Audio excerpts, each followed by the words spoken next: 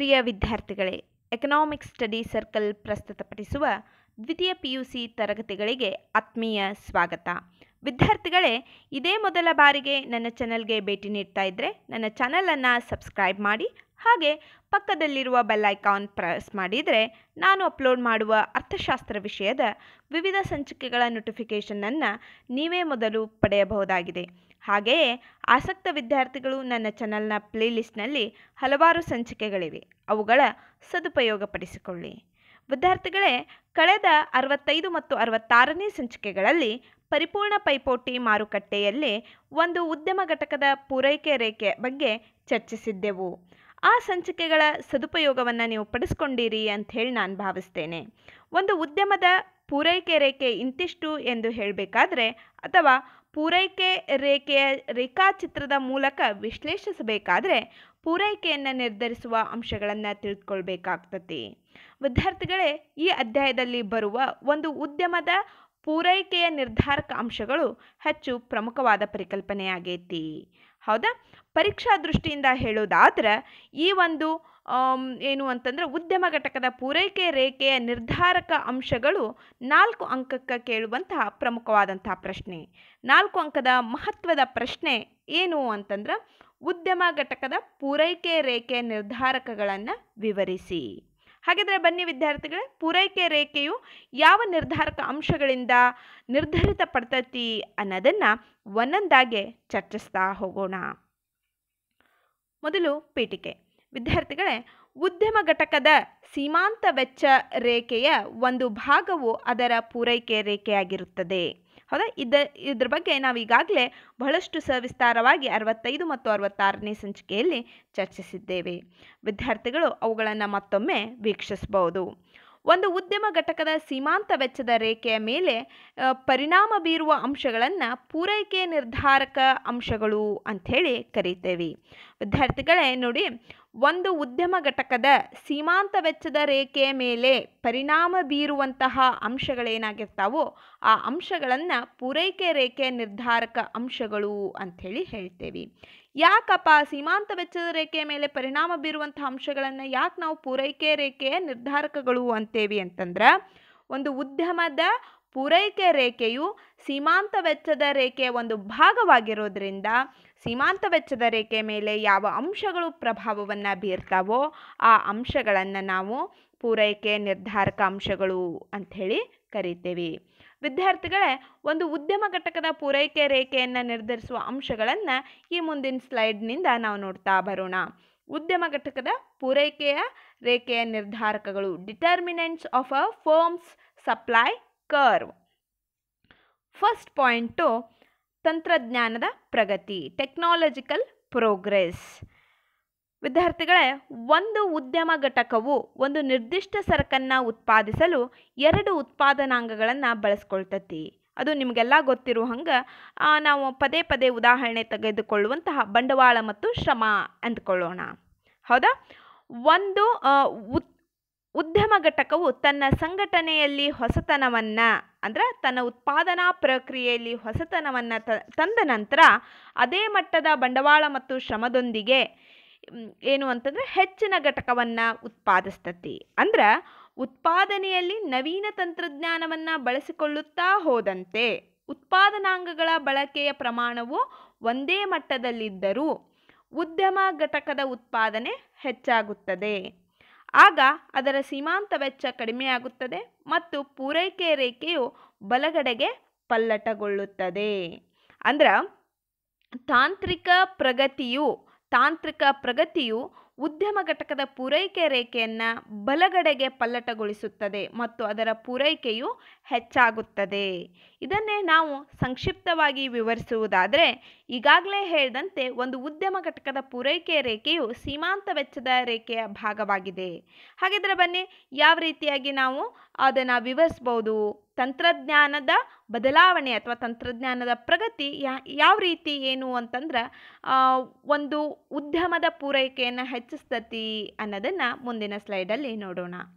ವಿದ್ಯಾರ್ಥಿಗಳೇ, ತಂತ್ರಜ್ಞಾನದ ಪ್ರಗತಿ ಉತ್ಪಾದನ, ಉತ್ಪಾದನೆಯಲ್ಲಿ ಬಳಸುವ ಉತ್ಪಾದನಾಂಗಗಳು ಸ್ಥಿರವಾಗಿದ್ದು, ನೋಡ್ರಿ ಒಂದು ಉತ್ಪಾದನಾ ಘಟಕ ಐತಿ ಅಂತಂದ್ರೆ ಅಲ್ಲಿ ಉತ್ಪಾದನೆಯಲ್ಲಿ ಬಳಸುವ ಉತ್ಪಾದನಾಂಗಗಳು ಸ್ಥಿರವಾಗಿರಿಸಿ, ಬರೀ ತಂತ್ರಜ್ಞಾನದ ಪ್ರಗತಿಯಿಂದಾಗಿ, ಅಂದ್ರೆ ತಂತ್ರಜ್ಞಾನದಲ್ಲಿ ಪ್ರಗತಿ ಅಥವಾ ಹೊಸತನ ತಂದ್ರೆ ಉತ್ಪಾದನೆ ಹೆಚ್ಚಾಗಿ ಸೀಮಾಂತ ವೆಚ್ಚ ಕಡಿಮೆ ಆಗ್ತತಿ ಅಥವಾ ಸೀಮಾಂತ ವೆಚ್ಚ ಕಡಿಮೆಯಾಗುವ ಕಾರಣ ಉತ್ಪನ್ನದ ಪೂರೈಕೆಯು ಹೆಚ್ಚಾಗುತ್ತದೆ.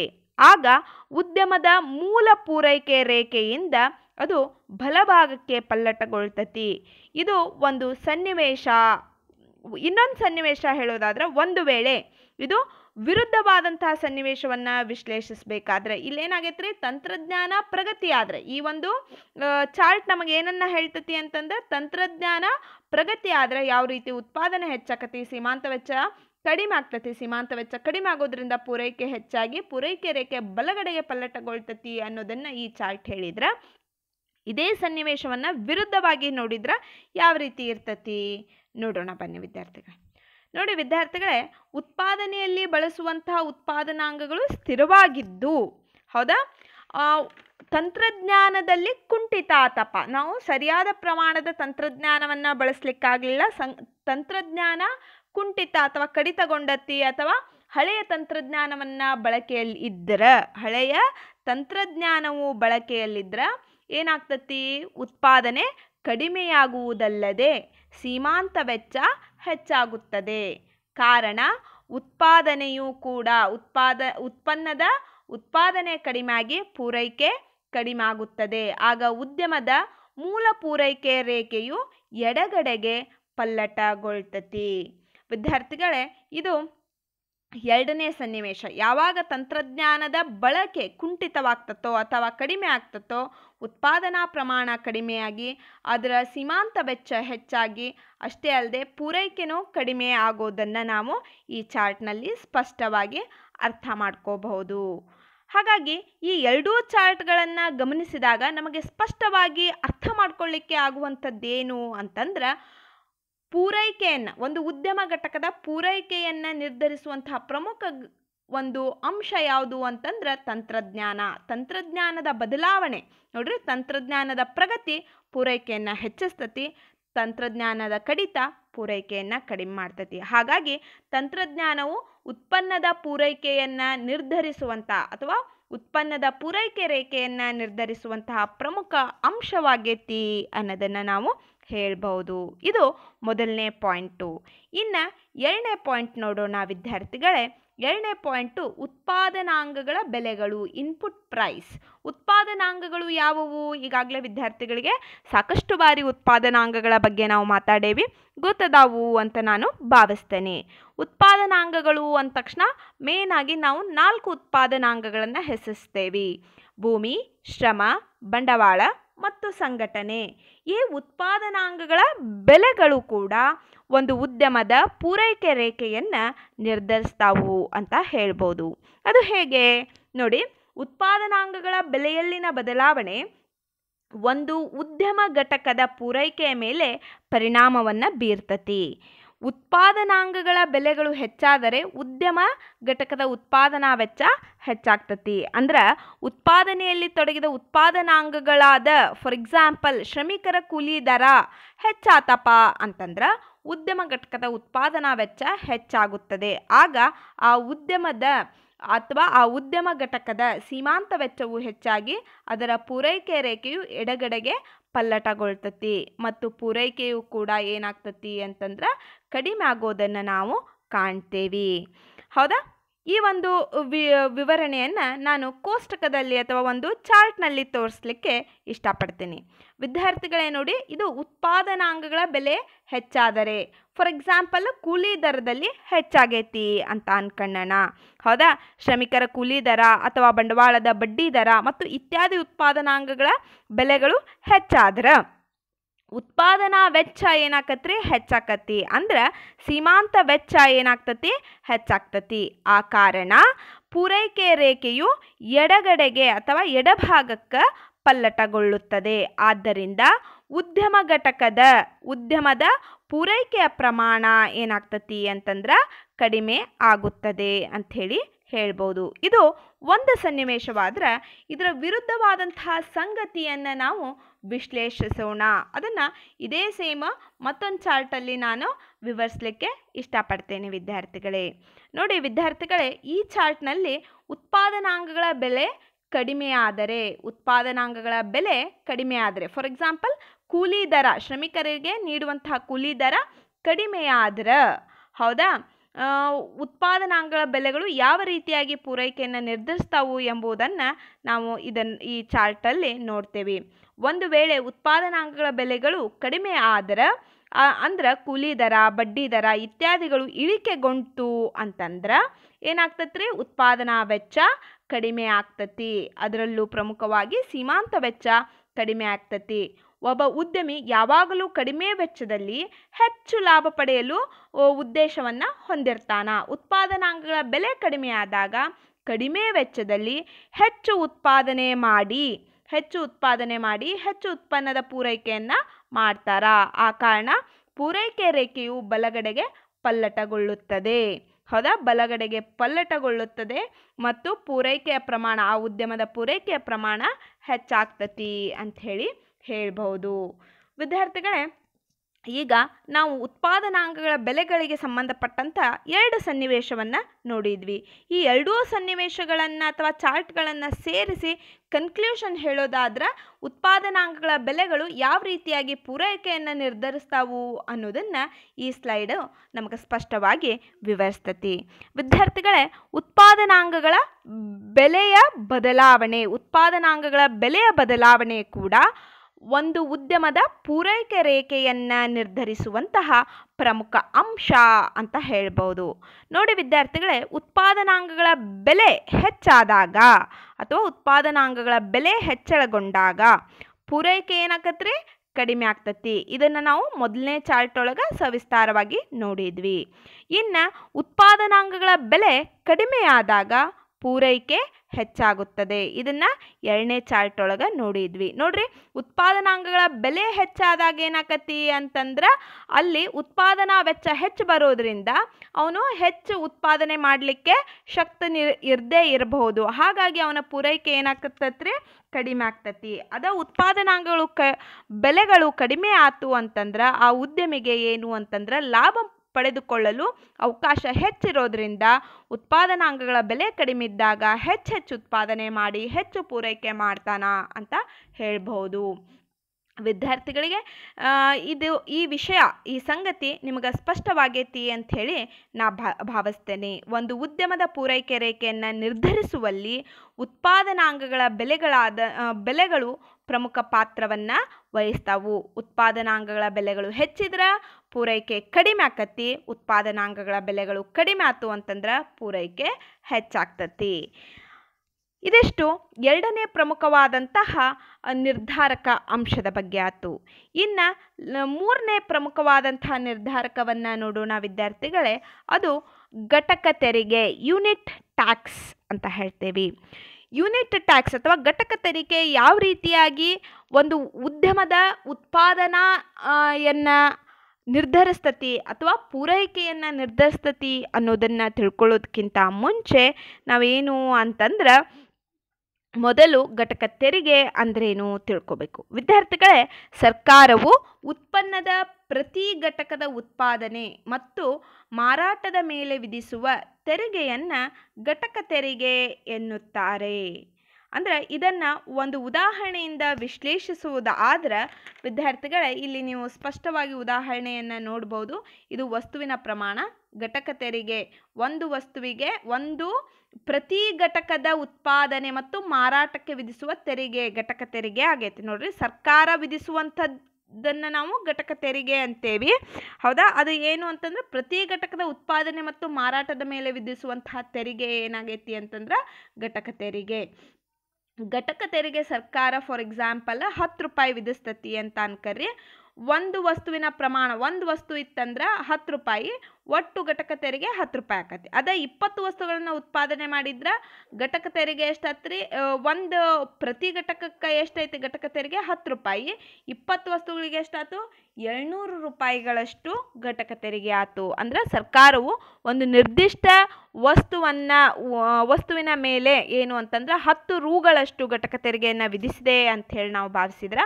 ಆಗ ಆ ವಸ್ತುವಿನ ತಯಾರಿಕಾ ಉದ್ಯಮ ಘಟಕ ಒಂದು ಇಪ್ಪತ್ತು ಆ ವಸ್ತುಗಳನ್ನು ಎಕ್ಸ್ ವಸ್ತುಗಳನ್ನು ಉತ್ಪಾದಿಸಿ ಮಾರಾಟ ಮಾಡಬೇಕಂತಂದ್ರೆ ಅದು ಏಳ್ನೂರರಷ್ಟು ಏಳ್ನೂರು ರೂಪಾಯಿಗಳಷ್ಟು ಘಟಕ ತೆರಿಗೆಯನ್ನು ಸರ್ಕಾರಕ್ಕೆ ಸಂದಾಯ ಮಾಡಬೇಕಾಗ್ತತಿ. ಹೀಗೆ ತೆರಿಗೆಯನ್ನು ಸಂದಾಯ ಮಾಡೋದು ಅಂತಂದ್ರೆ ಒಬ್ಬ ವೈಯಕ್ತಿಕ ವ್ಯಕ್ತಿಗಾಗಲಿ, ಉದ್ಯಮಿಗಾಗಲಿ ಅದು ಕಷ್ಟಕರವಾದಂತಹ ವಿಷಯ. ಹೌದಾ? ತೆರಿಗೆಯನ್ನು ಸಂದಾಯ ಮಾಡೋದೇನೈತಲ್ರಿ? ಅದು ಅದರಿಂದ ಪ್ರತಿಫಲಾಪೇಕ್ಷೆ ಇರೋದಿಲ್ಲ. ನಾವು ಪ್ರತಿಫಲಾಪೇಕ್ಷೆ ಇಲ್ಲದೆ ನೀಡುವಂತಹದ್ದೇ ತೆರಿಗೆ ಆಗಿರ್ತತಿ. ನೋಡ್ರಿ, ದೇವ್ರ ಹುಂಡಿಗೆ ನಾವು ಹತ್ತು ರೂಪಾಯಿ ಹಾಕ್ತೇವಿ ಅಂತಂದ್ರೆ ಸಾವಿರ ಬೇಡಿಕೆಗಳನ್ನು ನಾವು ಬೇಡ್ಕೊಂಡಿರ್ತೀವಿ. ದೇವ್ರು ಕೊಡ್ತಾನೋ ಇಲ್ಲೋ ಸೆಕೆಂಡ್ರಿ ಬಟ್ ಬೇಡ್ಕೊಂಡಿರ್ತೀವಿ. ಆದರೆ ತೆರಿಗೆ ಹಂಗಲ್ರಿ. ನಾವು ಯಾವುದೇ ಬೇಡಿಕೆಗಳನ್ನು ಇಡ ಹಂಗಿಲ್ಲ, ನಾವು ಪ್ರತಿಫಲಾಪೇಕ್ಷೆ ಇಲ್ಲದೆ ತೆರಿಗೆಗಳನ್ನು ಸರ್ಕಾರಕ್ಕೆ ಕಟ್ಟಬೇಕಾಗ್ತತಿ ಆ ತೆರಿಗೆಗಳಲ್ಲೇ ಒಂದು ಪ್ರಮುಖವಾದಂಥ ತೆರಿಗೆ ಅಂತಂದ್ರೆ ಘಟಕ ತೆರಿಗೆ ಯೂನಿಟ್ ಟ್ಯಾಕ್ಸ್ ಅಂತ ಹೇಳ್ತೀವಿ. ಈ ಯೂನಿಟ್ ಟ್ಯಾಕ್ಸು ಯಾವ ರೀತಿಯಾಗಿ ಪೂರೈಕೆ ರೇಖೆ ಮೇಲೆ ಪ್ರಭಾವ ಬೀರ್ತತಿ ಅಂತಂದ್ರೆ ತೆರಿಗೆ ಹೆಚ್ಚಾತಂದ್ರೆ ಅದನ್ನು ಚಾರ್ಟ್ ಮೂಲಕನೇ ನೋಡೋಣ ವಿದ್ಯಾರ್ಥಿಗಳೇ. ಘಟಕ ತೆರಿಗೆ ಹೆಚ್ಚಾದರೆ, ನೋಡ್ರಿ ಇಲ್ಲಾರೋ ಮಾರ್ಕ್ ಮ್ಯಾಲೆ ತೋರ್ಸೇನೆ, ಘಟಕ ತೆರಿಗೆ ಹೆಚ್ಚಾದ್ರೆ ಪೂರೈಕೆ ಏನಾಗ್ತತ್ರಿ? ಕಡಿಮೆ ಆಗ್ತತಿ. ಯಾಕಂದ್ರೆ ಘಟಕ ತೆರಿಗೆ, ತೆರಿಗೆಯನ್ನು ಹೆಚ್ಚು ಕಟ್ಟಬೇಕಪ್ಪ ಪರ್ ಯೂನಿಟ್ ಪ್ರೊಡಕ್ಷನ್ನು ತೆರಿಗೆಯನ್ನು ಪ್ರಮಾಣವನ್ನು ಹೆಚ್ಚೆಚ್ಚು ಕಟ್ಟಬೇಕು ಅಂತಂದ್ರೆ ಏನಾಗ್ತತಿ ಅಂತಂದ್ರೆ ಉದ್ಯಮಿ ಡಿಸ್ಕರೇಜ್ ಆಗ್ತಾನ. ಏನಪ್ಪ ದುಡ್ದಿದ್ದು ಉತ್ಪಾದನೆ ಮಾಡಿದ್ದೆಲ್ಲ ತೆರಿಗೆ ರೂಪದಾಗ ಹೊಕ್ಕತಿ ನಾ ಎಷ್ಟು ಉತ್ಪಾದನೆ ಮಾಡಿ ಏನು ಉಪಯೋಗ ಐತಿ ಅಂಥೇಳಿ ಆ ಘಟಕ ತೆರಿಗೆ ಹೆಚ್ಚಾದಾಗ ಪೂರೈಕೆಯನ್ನು ಕಡಿಮೆ ಮಾಡ್ತಾನ.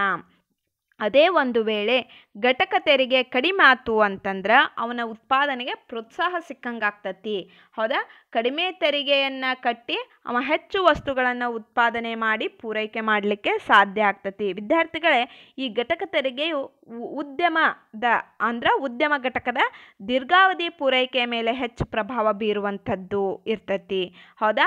ಘಟಕ ತೆರಿಕೆಯು ಉದ್ಯಮ ಘಟಕದ ದೀರ್ಘಾವಧಿ ಪೂರೈಕೆಯನ್ನು ಎಡಗಡೆಗೆ ಪಲ್ಲಟಗೊಳಿಸುವಂಥದ್ದು ಅಂತಲೂ ನಾವು ಹೇಳಬಹುದು. ಹಾಗಿದ್ರೆ ಬನ್ನಿ, ಇದನ್ನು ರೇಖಾಚಿತ್ರದ ಮೂಲಕ ಯಾವ ರೀತಿ ಘಟಕ ತೆರಿಗೆ ಉದ್ಯಮಿಯ ಮೇಲೆ ಹೊರೆ ಆಗ್ತತಿ, ಮತ್ತು ಅವನ ಉತ್ಪಾದನೆಯನ್ನು ಅವ ಕಡಿಮೆ ಮಾಡ್ತಾನ ಅನ್ನೋದನ್ನು ರೇಖಾಚಿತ್ರದ ಮೂಲಕ ನಾವು ತಿಳ್ಕೊಳ್ಳೋಣ. ವಿದ್ಯಾರ್ಥಿಗಳೇ, ಈ ರೇಖಾಚಿತ್ರವನ್ನು ಸ್ಪಷ್ಟವಾಗಿ ನೋಡಿ. ಇಲ್ಲಿ ವೆಚ್ಚದ ರೇಖೆಗಳು ಮತ್ತು ಘಟಕ ತೆರಿಗೆಯ ಬಗ್ಗೆ ತೋರಿಸುವಂತಹ ಒಂದು ರೇಖಾಚಿತ್ರ ಐತಿ. ಮತ್ತೊಂದು ರೇಖಾಚಿತ್ರ ಪೂರೈಕೆ ರೇಖೆ ಮತ್ತು ಘಟಕ ತೆರಿಗೆಗೆ ಸಂಬಂಧಿಸಿದಂತಹ ಒಂದು ರೇಖಾಚಿತ್ರ ಐತಿ. ಹೌದಾ? ಈಗ ಮೊದಲನೇದು, ವೆಚ್ಚದ ರೇಖೆಗಳು ಮತ್ತು ಘಟಕ ತೆರಿಗೆಗಳ ಬಗ್ಗೆ ಸಂಬಂಧಿಸಿದಂತಹ ರೇಖಾಚಿತ್ರವನ್ನು ಝೂಮ್ ಮಾಡ್ತೀನಿ. ಇದನ್ನು ನಾನು ವಿವರಿಸ್ತಾ ಹೋಗ್ತೇನೆ. ವಿದ್ಯಾರ್ಥಿಗಳೇ ವೆಚ್ಚದ ರೇಖೆಗಳು ಮತ್ತು ಘಟಕದ ತೆರಿಗೆ. L R A C naught ನೋಡ್ರಿ, L R A C naught ಮತ್ತು L R M C naught ಇದು ಕೆಳಗದಾವ ನೋಡ್ರಿ. ಹೌದಾ? ಈ ರೇಖೆಗಳು, ವೆಚ್ಚದ ರೇಖೆಗಳು ಏನದಾವು? ಅನುಕ್ರಮವಾಗಿ ವಿಧಿಸಿರುವ ಮೊದಲನೇ ಒಂದು ಉದ್ಯಮ ಘಟಕದ ದೀರ್ಘಾವಧಿ ಸರಾಸರಿ ವೆಚ್ಚ ಮತ್ತು ದೀರ್ಘಾವಧಿ ಸೀಮಾಂತ ವೆಚ್ಚದ ರೇಖೆಗಳಾಗ್ಯಾವು. ಹೌದಾ? ಅದೇ ರೀತಿ ರು ಟಿ ಅಷ್ಟು. ಇಲ್ಲಿ ನೋಡ್ರಿ ಈ ಒಂದು ಪಿ ನಾಟ್ನಾಗ ಏನಾಗೈತಿ ಅಂತಂದ್ರೆ ಯಾವುದೇ ರೀತಿಯಾದಂತಹ ತೆರಿಗೆ ಇಲ್ಲ. ಇದು ತೆರಿಗೆ ರಹಿತವಾದಂತಹ ಬೆಲೆ ಮತ್ತು ತೆರಿಗೆ ರಹಿತವಾದಂತಹ ವೆಚ್ಚದ ರೇಖೆಗಳು. ಸೀಮಾಂತ ವೆಚ್ಚದ ರೇಖೆಯೇ ಪೂರೈಕೆ ರೇಖೆಯನ್ನು ಪ್ರತಿನಿಧಿಸ್ತತಿ. ಹೌದ್ರಿ? ಅವಾಗ ಎಲ್ ಆರ್ ಎಂ ಸಿ ರೇಖೆ ಮತ್ತು ಎಲ್ ಆರ್ ಎ ಸಿ ರೇಖೆ ಏನು ಅಂತಂದ್ರೆ, ನಾವು ಈ ಪಿ ನಾಟ್ ಪ್ರೈಸ್ ಇದ್ದಾಗ ಇಷ್ಟರ ಮಟ್ಟಿಗೆ ಏನು ಅಂತಂದ್ರೆ ವೆಚ್ಚದ ರೇಖೆ ಐತಿ ಅನ್ನೋದನ್ನು ನಾವು ಕಾಣ್ತೇವೆ. ಹೌದಾ? ಅದ ಅದೇ ರೀತಿ ರೂಟೀನಷ್ಟು ರೂಟೀನಷ್ಟು ಅಂದ್ರೆ ಇಷ್ಟು ಪ್ರಮಾಣದಾಗ ಇರುವಷ್ಟು ಟೀನಷ್ಟು ಘಟಕ ತೆರಿಗೆ ವಿಧಿಸಿದ ನಂತರ ಏನಾಗ್ತತಿ ಅಂತಂದ್ರೆ, ಉದ್ಯಮ ಘಟಕದ ವೆಚ್ಚ. ಮೊದಲೇನಾಗಿತ್ತು ರೀ ಉದ್ಯಮ ಘಟಕದ ವೆಚ್ಚ? ಇಲ್ಲಿತ್ತು, ಕೆಳಮಟ್ಟದಲ್ಲಿ ಇಲ್ಲಿತ್ತು. L R M C naught L R A C naught ಇಲ್ಲಿತ್ತು. ಆದರೆ ಎಡಿಷ್ನಲ್ ಆಗಿ ಟಿ ಪ್ರಮಾಣದಷ್ಟು, ಅಂದರೆ ಇಷ್ಟು ಪ್ರಮಾಣದಷ್ಟು ಇಲ್ಲಿ ನಾನು ಏನಿದೆ ರೆಡ್ ಡಾಟ್ ಮೂವ್ ಮಾಡ್ಲಿಕ್ಕತ್ತೇನಿಲ್ಲ ಇಷ್ಟು ಪ್ರಮಾಣದಷ್ಟು ಟಿಯಷ್ಟು ತೆರಿಗೆಯನ್ನು ವಿಧಿಸಿದ ನಂತರ ಉದ್ಯಮ ಘಟಕದ L R A C one ಮತ್ತು L R M C one ಅನುಕ್ರಮವಾಗಿ ದೀರ್ಘಾವಧಿ ಸರಾಸರಿ ವೆಚ್ಚದ ರೇಖೆ ಮತ್ತು ದೀರ್ಘಾವಧಿ ಸೀಮಾಂತ ವೆಚ್ಚದ ರೇಖೆ ಮೇಲೆ ಶಿಫ್ಟ್ ಆಗಿರೋದನ್ನು ನಾವು ಕಾಣ್ತೇವೆ. ಅಂದ್ರೆ ಮೊದಲ ವಸ್ತುಗಳ ಬೆಲೆ ಇದ್ದಾಗ, ಬೆಲೆ ಪಿ ನಾಟ್ ಅಷ್ಟೇ ಇದ್ದಾಗ ಒಂದು ಉದ್ಯಮದ ವೆಚ್ಚ ಇಷ್ಟು ಪ್ರಮಾಣದಲ್ಲಿತ್ತು. ಏನು? ಪಿ ನಾಟ್ ಇದ್ದಾಗ ಕೆಳಗಿತ್ತು. ಹೌದಾ? ಅದಕ್ಕೆ ತೆರಿಗೆ ಸೇರಿಸಿದಾಗ ಏನಾಯ್ತು ಅಂತಂದ್ರೆ ಪಿ ಜೊತೆಗೆ ಟಿಯನ್ನು ಸೇರಿಸಿದಾಗ ಏನಾಯ್ತು ಇಲ್ಲೇ? ವೆಚ್ಚದ ರೇಖೆ ಮೇಲ್ಗಡೆ ಶಿಫ್ಟ್ ಆಗಿರೋದು ನಮಗೆ ಕಾಣ್ತತಿ. ಅಂದರೆ ಇದು ವೆಚ್ಚ ಹೆಚ್ಚಾಗಿರೋದು ಉದ್ಯಮಕ್ಕೆ ಬರ್ಡನ್ ಆಗಿರ್ತತಿ ಅಂತ ಹೇಳ್ಬೋದು. ಮತ್ತು ಅಷ್ಟೇ ಅಲ್ದ ಉದ್ಯಮ ಅದು ಮುಂದೆ ಉದ್ಯಮ ಕನ್ಸೂಮರ್ಸಿಗೂ ಬರ್ಡನ್ ಮಾಡ್ತತಿ. ಈಗ ನಾವು ಅದ್ರ ಬಗ್ಗೆ ಚರ್ಚೆ ಮಾಡೋದು ಬೇಡ. ಜಸ್ಟ್ ಏನು ಅಂತಂದ್ರೆ ಹೆಂಗೆ ಟ್ಯಾಕ್ಸನ್ನು ಹಾಕೋದ್ರ ಮೂಲಕ ಉದ್ಯಮದ ಉತ್ಪಾದನಾ ವೆಚ್ಚ ಏನು ಅಂತಂದ್ರೆ ಟಿ ಇಲ್ಲಿ L R M C naught ಮತ್ತು ಎಲ್ ಆರ್ ಎ ಸಿ ನಾಟಲ್ಲಿ ಇದ್ದಂತಹ ವೆಚ್ಚ ಏನಾಯ್ತು ಅಂತಂದ್ರೆ L R M C one ಮತ್ತು ಎಲ್ ಆರ್ ಎ ಸಿ ಒನ್ಗೆ ಮೇಲ್ಗಡೆಗೆ ಹೆಚ್ಚಾಗಿರೋದನ್ನು, ಉತ್ಪಾದನಾ ವೆಚ್ಚ ಹೆಚ್ಚಾಗಿರೋದನ್ನು ಕಾಣ್ಬೋದು. ಇದು ವೆಚ್ಚವನ್ನು ಪ್ರತಿನಿಧಿಸಿದ್ರ, ಹೌದಾ? ಇನ್ನು ಪೂರೈಕೆಯನ್ನು ನಾವು ನೋಡೋಣ. ಪೂರೈಕೆ ರೇಖೆಗಳು ಮತ್ತು ಘಟಕ ತೆರಿಗೆಗಳು ಏನನ್ನು ವಿವರಿಸ್ತತಿ ಅನ್ನೋದನ್ನು ನೋಡೋಣ. ವಿದ್ಯಾರ್ಥಿಗಳೇ, ಓ ಎಕ್ಸ್ ಕಕ್ಷೆಯು ಉತ್ಪನ್ನವನ್ನು, ಓ ವೈ ಕಕ್ಷೆಯು ಬೆಲೆಯನ್ನು ಪ್ರತಿನಿಧಿಸ್ತತಿ, ಹೌದಾ? ಘಟಕ ತೆರಿಗೆಯನ್ನು ವಿಧಿಸುವ ಮೊದಲು, ಘಟಕ ತೆರಿಗೆಯನ್ನು ವಿಧಿಸುವ ಮೊದಲು ಉದ್ಯಮವು ಏನು ಅಂತಂದರೆ ಎಸ್ ನಾಟ್ ಉತ್ಪನ್ನದ, ಉದ್ಯಮದ ಘಟಕದ ಪೂರೈಕೆ ರೇಖೆಯು ಎಸ್ ನಾಟ್ ಆಗಿರ್ತತಿ. ಹೌದಾ? ರೂ ಟೀನಷ್ಟು ಅಂದ್ರೆ ಇಷ್ಟು ಪ್ರಮಾಣದಾಗ. ಹೌದಾ? ಇಲ್ಲಿ ನಾನೇನು ಮೂವ್ಮೆಂಟ್ ಮಾಡ್ಲಿಕ್ಕತ್ತೇನಲ್ಲ ಪಿ ನಾಟಿಂದ ಇಲ್ಲಿ ಪಿ ನಾಟ್ ಪ್ಲಸ್ ಟಿ ವರೆಗೂ ಏನೈತಲ್ಲ, ಇಷ್ಟು ಪ್ರಮಾಣದ ಘಟಕ ತೆರಿಗೆಯನ್ನು ಸರ್ಕಾರ ವಿಧಿಸಿದ ನಂತರ ಉದ್ಯಮದ ಘಟಕದ ಪೂರೈಕೆ ರೇಖೆಯನ್ನು ಏನು ಅಂತಂದ್ರೆ ಎಸ್ ಒನ್ ಪ್ರತಿನಿಧಿಸ್ತತಿ. ಹೌದಾ? ಇದು ಎಸ್ ಒನ್ ಪ್ರತಿನಿಧಿಸ್ತತಿ. ಘಟಕದ ಪೂರೈಕೆಯನ್ನು ಪ್ರತಿನಿಧಿಸುವುದರಿಂದ, ಹೌದಾ? ಘಟಕದ ಪೂರೈಕೆ ರೇಖೆಯನ್ನು ಟ್ಯಾಕ್ಸ್ನ ನಂತರ ಪ್ರತಿನಿಧಿಸುವುದು ಎಸ್ ಒನ್ನು ಟ್ಯಾಕ್ಸ್ಗಿಂತ ಮುಂಚೆ ಪ್ರತಿನಿಧಿಸೋದು ಎಸ್ ನಾಟು. ಹೌದಾ? ಇಲ್ಲಿ ನೋಡ್ರಿ ಪೂರೈಕೆ ರೇಖೆಯು ಎಡಗಡೆಗೆ ಪಲ್ಲಟ ಆಗಿರೋದನ್ನು ನಾವು ಕಾಣ್ತೇವೆ. ನೋಡ್ರಿ, ಯಾವಾಗ ಘಟಕ ತೆರಿಗೆ ಇನ್ಕ್ಲೂಡ್ ಆಕೈತೋ ಪೂರೈಕೆ ರೇಖೆ ಎಡಗಡೆಗೆ ಪಲ್ಲಟ ಆಕೈತಿ. ಪೂರೈಕೆ ರೇಖೆ ಎಡಗಡೆಗೆ ಪಲ್ಲಟ ಆಗೈತಿ ಅಂದ್ರೆ ಅದರ ಅರ್ಥೇನು ಪೂರೈಕೆಯ ಪ್ರಮಾಣ ಕಡಿಮೆ ಆಗೈತಿ ಅಂತನ ಅದು ನಮಗೆ ಸವಿಸ್ತಾರವಾಗಿ ಏನು ಅಂತ ಸವಿಸ್ತಾರವಾಗಿ ನಮಗೆ ಕಂಡು ಬರ್ತೈತಿ ಅಂತ ಹೇಳ್ಬೋದು.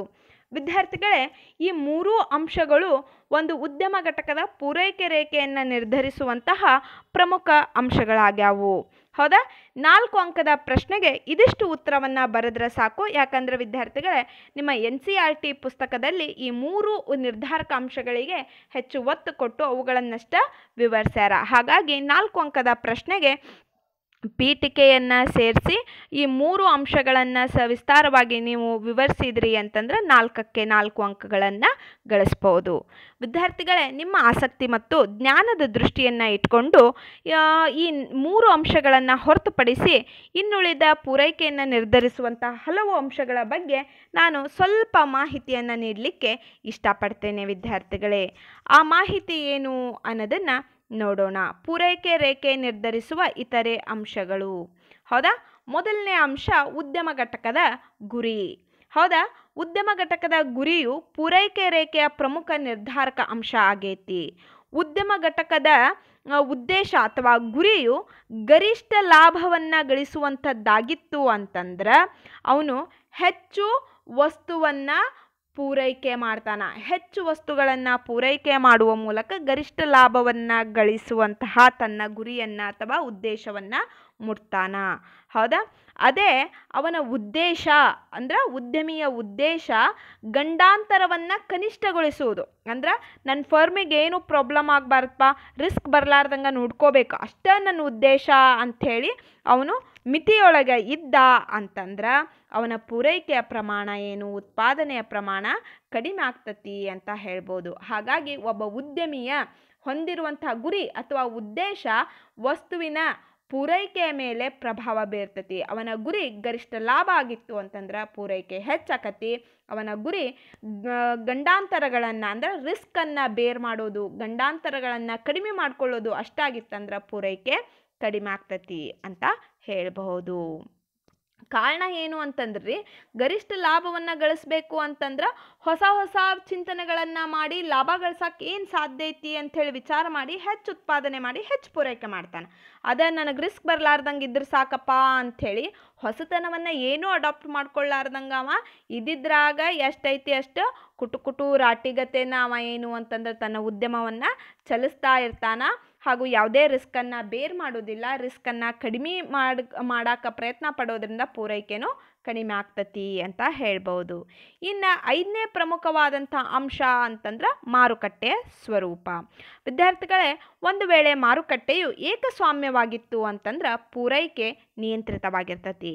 ಏಕಸ್ವಾಮ್ಯದಲ್ಲಿ ಉತ್ಪಾದಕ ಪೂರೈಕೆಯನ್ನು ನಿಯಂತ್ರಿಸುವುದರ ಮೂಲಕ ಬೆಲೆಯನ್ನು ಹೆಚ್ಚಿಸಿ ಹೆಚ್ಚು ಲಾಭವನ್ನು ಗಳಿಸ್ತಾರ. ಅಂದ್ರೆ ಏಕಸ್ವಾಮ್ಯ ಮಾರುಕಟ್ಟೆಯಲ್ಲಿ ಲಾಭದ ಆಧಾರದ ಮೇಲೆ ಉತ್ಪನ್ನದ ಪೂರೈಕೆಯ ಪ್ರಮಾಣ ನಿರ್ಧರಿತವಾಗಿರ್ತತಿ. ಕಡಿಮೆ ಪೂರೈಕೆ ಮಾಡಿ ಹೆಚ್ಚಿನ ಬೆಲೆಯಲ್ಲಿ ಲಾಭ ಗಳಿಸುವಂತಹ ಸಾಧ್ಯತೆ ಇತ್ತು ಅಂತಂದ್ರೆ ಅವರು ಪೂರೈಕೆಯನ್ನು ಕಡಿಮೆ ಮಾಡ್ತಾರಾ? ಮತ್ತು ಇಲ್ಲಿ ಏಕಸ್ವಾಮ್ಯ ಮಾರುಕಟ್ಟೆಯಲ್ಲಿ ಪೂರೈಕೆ ಅನ್ನೋದು ಉದ್ಯಮಿಯ ನಿಯಂತ್ರಿತದಲ್ಲಿ ಇರ್ತತಿ ಅಂತ ಹೇಳಬಹುದು. ಅದೇ ಒಂದು ವೇಳೆ ಪರಿಪೂರ್ಣ ಪೈಪೋಟಿ ಮಾರುಕಟ್ಟೆ ಆಗಿತ್ತು ಅಂತಂದ್ರೆ ಪರಿಪೂರ್ಣ ಪೈಪೋಟಿ ಮಾರುಕಟ್ಟೆಯಲ್ಲಿ ಉದ್ಯಮಿಗಳು ಉದ್ಯಮಿಗಳ ಕೈಯಲ್ಲಿ ಪೂರೈಕೆಯನ್ನು ನಿಯಂತ್ರಿಸಲಿಕ್ಕೆ ಸಾಧ್ಯ ಇಲ್ಲ. ಪರಿಪೂರ್ಣ ಪೈಪೋಟಿ ಮಾರುಕಟ್ಟೆಯಲ್ಲಿ ಪೂರೈಕೆಯು ನಿಯಂತ್ರಿಸುವಂತಹ ಯಾವುದೇ ಪ್ರವೃತ್ತಿಯನ್ನು ಉದ್ಯಮಿಯು ಹೊಂದಿರುವುದಿಲ್ಲ. ಹಾಗಾಗಿ ಇಲ್ಲಿ ಏನು ಅಂತಂದ್ರೆ ಪೂರೈಕೆಯ ಪ್ರಮಾಣ ಏನು ಅಂತಂದ್ರೆ ಸ್ವತಂತ್ರವಾಗಿರ್ತತಿ. ಹಂಗಿದ್ರೆ ಪರಿಪೂರ್ಣ ಪೈಪೋಟಿ ಮಾರುಕಟ್ಟೆಯಲ್ಲಿ ಪೂರೈಕೆ ಹೆಂಗೆ ಹೆಚ್ಚಿರ್ತತೋ ಕಡಿಮೆ ಇರ್ತತೋ ಅಂತ ನಿಮಗೆ ಕ್ವಶನ್ ಬರ್ಬೋದು.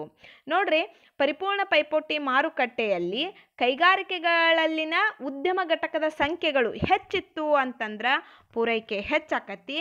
ಅದ ಕೈಗಾರಿಕೆಗಳ ಸಂಖ್ಯೆ ಕಡಿಮೆ ಇತ್ತು ಅಂತಂದ್ರೆ ಪೂರೈಕೆ ಕಡಿಮೆ ಆಗ್ತತಿ. ಹೌದಾ? ಈ ರೀತಿಯಾಗಿ ಮಾರುಕಟ್ಟೆಯ ಸ್ವರೂಪಗಳು ಕೂಡ ಏನು ಅಂತಂದ್ರೆ ಒಂದು ಉದ್ಯಮದ ಪೂರೈಕೆ ರೇಖೆಯನ್ನು ನಿರ್ಧರಿಸ್ತಾವು. ಏಕಸ್ವಾಮ್ಯ ಆಗಿತ್ತಂದ್ರೆ ಪೂರೈಕೆ ನಿಯಂತ್ರಿತವಾಗಿರ್ತತಿ. ಪರಿಪೂರ್ಣ ಪೈಪೋಟಿ ಮಾರುಕಟ್ಟೆ ಆಗಿತ್ತು ಅಂತಂದ್ರೆ, ಆ ಪರಿಪೂರ್ಣ ಪೈಪೋಟಿ ಮಾರುಕಟ್ಟೆಯಲ್ಲಿರುವಂತಹ ಕೈಗಾರಿಕೆಯಲ್ಲಿನ ಉದ್ಯಮ ಘಟಕಗಳ ಸಂಖ್ಯೆ ಹೆಚ್ಚಿತ್ತು ಅಂತಂದ್ರೆ, ಹೆಚ್ಚು ಪೂರೈಕೆ ಆಕತಿ, ಕಡಿಮೆ ಇತ್ತಂದ್ರೆ ಕಡಿಮೆ ಪೂರೈಕೆ ಆಗ್ತತಿ ಅಂತ ಹೇಳ್ಬೋದು. ಇನ್ನು ಆರನೇ ಪ್ರಮುಖವಾದಂಥ ಅಂಶವನ್ನು ನೋಡೋದಾದ್ರೆ ಭವಿಷ್ಯದಲ್ಲಿನ ಬೆಲೆಗಳ ನಿರೀಕ್ಷೆ. ಹೌದಾ? ಫ್ಯೂಚರ್ ಎಕ್ಸ್ಪೆಕ್ಟೇಷನ್ ಅಬೌಟ್ ಪ್ರೈಸಸ್ ಬೆಲೆಗಳ ಬಗ್ಗೆ ಏನು ಅಂತಂದ್ರೆ ಉದ್ಯಮಿಗೆ ನಿರೀಕ್ಷೆಗಳು ಇತ್ತು ಅಂತಂದರೂ ಕೂಡ ಆ ಅಂಶನೂ ಏನು ಅಂತಂದ್ರೆ ಪೂರೈಕೆಯ ಮೇಲೆ ಪರಿಣಾಮವನ್ನು ಅಥವಾ ಪ್ರಭಾವವನ್ನು ಬೀರಬಹುದು. ನೋಡಿ, ಭವಿಷ್ಯದಲ್ಲಿ ಆ ವಸ್ತುವಿನ ಅಂದ್ರೆ ಉದ್ಯಮ ಘಟಕವು ಉತ್ಪಾದಿಸುವಂತಹ ವಸ್ತುವಿನ ಬೆಲೆ ಹೆಚ್ಚಾಗ್ತತಿ ಅಂತ ನಿರೀಕ್ಷೆ ಮಾಡಿದ್ದ ಅಂತಂದ್ರೆ ಅವ ಸದ್ಯದಲ್ಲಿ ಅಂದ್ರೆ ಪ್ರಸ್ತುತದಲ್ಲಿ ಪೂರೈಕೆಯನ್ನು ಕಡಿಮೆ ಮಾಡ್ತಾನ. ಅದೇ ರೀತಿ ವಿರುದ್ಧವಾದಂತಹ ಸನ್ನಿವೇಶ ಅಂತಂದ್ರೆ ಭವಿಷ್ಯದಲ್ಲಿ ಬೆಲೆಯು ಕಡಿಮೆಯಾಗುವ ನಿರೀಕ್ಷೆ ಹೊಂದಿತ್ತು ಅಂತಂದ್ರೆ ಸದ್ಯದಲ್ಲಿ ಅಥವಾ ಪ್ರಸ್ತುತದಲ್ಲಿ ಪೂರೈಕೆ ಹೆಚ್ಚಾಗ್ತತಿ. ಅಂದ್ರೆ ಉತ್ಪಾದಕರು ಭವಿಷ್ಯದಲ್ಲಿ ಮಾರುಕಟ್ಟೆಯ ಬೆಲೆ ಹೆಚ್ಚಾದ ಹೆಚ್ಚಾಗುತ್ತದೆಂದು ನಿರೀಕ್ಷಿಸಿದ್ರೆ ಸದ್ಯದ ಪೂರೈಕೆಯನ್ನು ಕಡಿಮೆ ಮಾಡ್ತಾರಾ? ಮತ್ತು ಉಳಿದ ಉತ್ಪನ್ನಗಳನ್ನು ಭವಿಷ್ಯದಲ್ಲಿ ಹೆಚ್ಚಿನ ಬೆಲೆಯಲ್ಲಿ ಮಾರಾಟ ಮಾಡುವ ಉದ್ದೇಶವನ್ನು ಹೊಂದಿ ದಾಸ್ತಾನನ್ನು ಮಾಡ್ತಾರಾ? ಅದೇ ರೀತಿಯಾಗಿ ಭವಿಷ್ಯದ ಬೆಲೆ ಭವಿಷ್ಯದ ಬೆಲೆ ಕಡಿಮೆ ಆಗ್ತತಿ ಅಂತ ಗೊತ್ತಾದ್ರೆ ಅಥವಾ ನಿರೀಕ್ಷಿಸಿದ್ರೆ ಸದ್ಯದ ಉತ್ಪನ್ನವನ್ನು ಹೆಚ್ಚಿಗೆ ಮಾಡಿ ಏನು ಮಾಡ್ತಾರಾ ಅಂತಂದ್ರೆ ಮೊದಲ ಲಾಭವನ್ನು ಪಡೀಲಿಕ್ಕೆ ಪ್ರಯತ್ನವನ್ನು ಪಡ್ತಾರ? ಹಾಗಾಗಿ ಭವಿಷ್ಯದಲ್ಲಿನ ಬೆಲೆಯ ನಿರೀಕ್ಷೆಗಳು ಕೂಡ ಆ ಉದ್ಯಮ ಘಟಕದ ಪೂರೈಕೆಯನ್ನು, ಪೂರೈಕೆಯ ಪ್ರಮಾಣವನ್ನು ಅಥವಾ ಪೂರೈಕೆಯ ರೇಖೆಯನ್ನು ನಿರ್ಧರಿಸುವಂತಹ ಪ್ರಮುಖ ಅಂಶ ಅಂತ ಹೇಳಬಹುದು. ಇನ್ನು ಏಳನೇ ಪ್ರಮುಖವಾದಂತಹ ನಿರ್ಧಾರಕ ಅಂಶ ಅಂತಂದ್ರೆ ಹವಾಮಾನ ಪರಿಸ್ಥಿತಿ.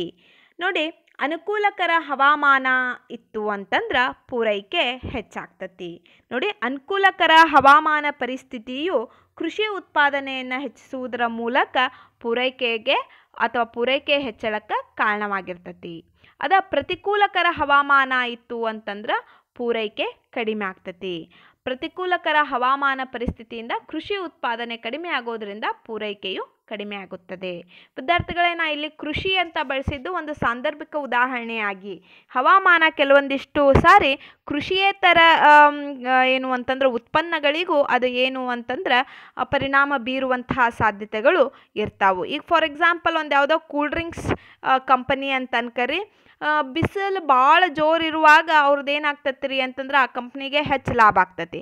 ಬಿಸಿಲು ಬೀಳೋ ಹೊತ್ತನಾಗ ಏನು ಅಂತಂದ್ರೆ ಮಳೆ ಶುರುವಾತು ಅಂತ ಹವಾಮಾನದಲ್ಲಿ ಪ್ರತಿಕೂಲ ಸ್ಥಿತಿ ಒಳಗೊಂತು ಅಂತಂದ್ರೆ ಅವರ ಒಂದು ಲಾಸ್ ಆಗ್ತಾರ ಅಥವಾ ಅವ್ರು ಪೂರೈಕೆ ಮಾಡಿದರೂ ಕೂಡ ಅದು ಏನು ಅಂತಂದ್ರೆ ಲಾಸಿಗೆ ಬರ್ತೈತಿ. ಪೂರೈಕೆ ಆವಾಗ ಅವರು ಸಡನ್ನಾಗಿ ಅದು ಪೆರಿಷಬಲ್ ಗೂಡ್ ಆಗಿರಂಗಿಲ್ಲ. ಅದನ್ನು ಕಡಿಮೆ ಮಾಡುವಂತಹ ಸಾಧ್ಯತೆನೂ ಇರ್ತೈತಿ. ಒಟ್ಟಾರೆಯಾಗಿ ಪ್ರತಿಕೂಲ ಹವಾಮಾನ ಇತ್ತು ಅಂತಂದ್ರೆ ಪೂರೈಕೆ ಕಡಿಮೆ ಆಗ್ತತಿ, ಅನುಕೂಲಕರ ಹವಾಮಾನ ಇತ್ತು ಅಂತಂದ್ರೆ ಪೂರೈಕೆ ಹೆಚ್ಚಾಗ್ತತಿ.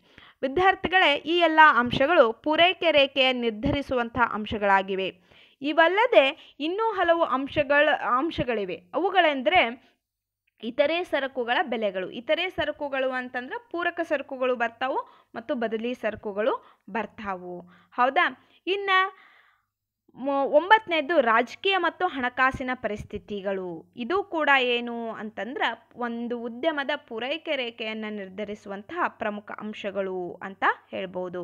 ವಿದ್ಯಾರ್ಥಿಗಳೇ, ಈ ಸಂಚಿಕೆಯಲ್ಲಿ ವಿವರಿಸಿದ ಎಲ್ಲ ಅಂಶಗಳು ಪ್ರತ್ಯಕ್ಷವಾಗಿ ಮತ್ತು ಪರೋಕ್ಷವಾಗಿ ಒಂದು ಉದ್ಯಮ ಘಟಕದ ಉತ್ಪನ್ನದ ಪೂರೈಕೆಯ ಪ್ರಮಾಣವನ್ನು ನಿರ್ಧರಿಸುತ್ತವೆ. ವಿದ್ಯಾರ್ಥಿಗಳೇ, ಈ ಒಂಬತ್ತು ನಿರ್ಧಾರಕಗಳಲ್ಲಿ ಮೊದಲ ಮೂರು ಅಂಶಗಳಲ್ಲಿ ಅಂಶಗಳನ್ನು ಪರೀಕ್ಷೆಯಲ್ಲಿ ನಾಲ್ಕಕ್ಕೆ ನಾಲ್ಕು ಅಂಕಕ್ಕೆ ನೀವು ವಿವರಿಸಿದ್ರಿ ಅಂತಂದ್ರೆ ಮೊದಲ ಮೂರು ಅಂಶಗಳನ್ನು ನಾಲ್ಕು ಅಂಕಕ್ಕೆ ವಿವರಿಸಿದ್ರಿ ಅಂದ್ರೆ ನಾಲ್ಕಕ್ಕೆ ನಾಲ್ಕು ಅಂಕಗಳನ್ನು ನೀವು ಪಡೆಯಬಹುದು. ಇದಿಷ್ಟು ಪಾಯಿಂಟ್ಗಳನ್ನು ನೋಡಿದ್ವಿ. ಇನ್ನು ಕೊನೆಯದಾಗಿ ಉಪಸಂಹಾರವನ್ನು ನೋಡಿದ್ವಿ ಅಂತಂದ್ರೆ ಈ ಆನ್ಸರು ಕಂಪ್ಲೀಟ್ ಆಗ್ತತಿ. ಹೌದಾ ವಿದ್ಯಾರ್ಥಿಗಳೇ? ಉಪಸಂಹಾರ. ನೋಡಿ, ಉದ್ಯಮಿಯು ತನ್ನ ಲಾಭವನ್ನೇ ಆಧರಿಸಿ ಉತ್ಪನ್ನವನ್ನು ಪೂರೈಕೆ ಮಾಡುತ್ತಾನೆ. ಆದರೆ ಈ ಪರಿಪೂರ್ಣ ಪೈಪೋಟಿ ಮಾರುಕಟ್ಟೆಯಲ್ಲಿ ಬೆಲೆ ನಿರ್ಧಾರವಾಗಲಿ ಅಥವಾ ಹೊಸ ಕೈಗಾರಿಕೆಗಳಿಗೆ ನಿರ್ಬಂಧವಾಗಲಿ ಉದ್ಯಮಿಯ ವ್ಯಾಪ್ತಿಗೆ ಬರುವುದಿಲ್ಲ ಅಥವಾ ಸಂಬಂಧಿಸಿರುವುದಿಲ್ಲ. ಒಟ್ಟಾರೆಯಾಗಿ ಹೇಳೋದಾದ್ರೆ ಪರಿಪೂರ್ಣ ಪೈಪೋಟಿ ಮಾರುಕಟ್ಟೆಯಲ್ಲಿ ಪೂರೈಕೆ ರೇಖೆಯನ್ನು ನಿರ್ಧರಿಸುವ ಅಂಶಗಳೆಂದರೆ ತಂತ್ರಜ್ಞಾನದ ಪ್ರಗತಿ, ಉತ್ಪಾದನಾಂಗಗಳ ಬೆಲೆ, ಸರ್ಕಾರದ ತೆರಿಗೆ ಪ್ರಮುಖವಾಗಿದ್ದಾವು ಅಂಥೇಳಿ ಹೇಳಬಹುದು. ವಿದ್ಯಾರ್ಥಿಗಳೇ, ಈ ಸಂಚಿಕೆಯು ನಾಲ್ಕು ಅಂಕದ ಮಹತ್ವದ ಪ್ರಶ್ನೆಗೆ ಉತ್ತರವನ್ನು ಒದಗಿಸಿದೆ ಎಂದು ನಾನು ಭಾವಿಸ್ತೇನೆ. ವಿದ್ಯಾರ್ಥಿಗಳು, ದಯವಿಟ್ಟು ನನ್ನ ಚಾನಲ್ನ ಅಲ್ಲಿ ಲಭ್ಯವಿರುವಂತಹ ಒನ್ ಮಾರ್ಕ್ಸ್, ಟೂ ಮಾರ್ಕ್ಸ್ ಮತ್ತು ಫೋರ್ ಮಾರ್ಕ್ಸ್, ಸಿಕ್ಸ್ ಮಾರ್ಕ್ಸ್ನ ಹಾಗೆಯೇ ಕಾರ್ಯಯೋಜನೆಗೆ ಸಂಬಂಧಿಸಿದಂಥ ಎಲ್ಲ ಸಂಚಿಕೆಗಳನ್ನು ನಾನು ಅಪ್ಲೋಡ್ ಮಾಡಿದ್ದೇನೆ. ವಿದ್ಯಾರ್ಥಿಗಳು ವೀಕ್ಷಿಸಬಹುದು.